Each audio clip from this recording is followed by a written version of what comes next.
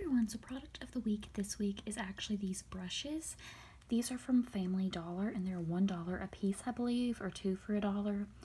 And they come in all different colors, but I just wanted to do these as a product of the week because they're really good for like applying eyeshadow on the bottom of your lid, your waterline, or they would also be good for like liquid or gel eyeliner. I really do like these. And if you just need to add like a touch up of eyeshadow, these would work as well. They are pretty stiff. And I think they're pretty good quality brushes to be from a dollar store.